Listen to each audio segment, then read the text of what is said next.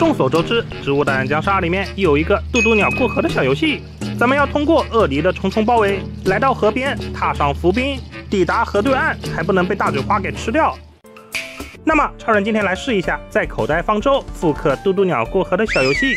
咱先用方块搭建一下道路，用两种颜色的冰块来搭这条冰路，最后的效果还是不错的。这块区域呢，就准备放鳄梨啦。再用多边形台当浮冰，给它加载移动组件。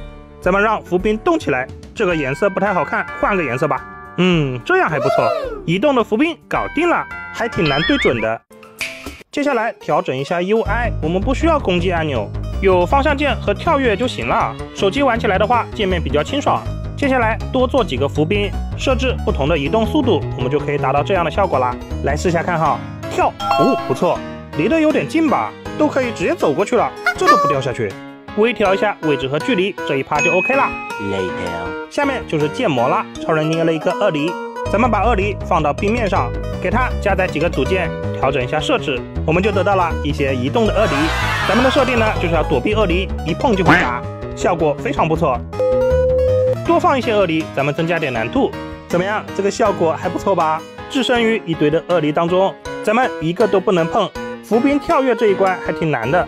对了，把整片水域都加上组件，但凡沾到一滴水，立马嘎。好的，来试试效果。没错，就是这样。把渡渡鸟过河复刻到 3D 玩法，整体难度都得到提升了呀。特别是在浮冰上跳跃。咱们还要找好角度，算准时机，难难，它是真的难。这还只是第一关，后面超人还会增加难度。到时候面对满场飞奔的鳄梨，我看你们怎么过去。好，最后捏一个大嘴花，放到河对岸，同样是一碰到大嘴花就会嘎。把这条冰路作为第二关的存储点，只需要跳上来就会通过第一关来到第二关了。最后在周边的区域加上一些透明的墙，这样一来我们就不会从其他地方掉下水了。好了，小伙伴们，后续呢，超人会制作更难的第二和第三关，等做好了给你们玩哦。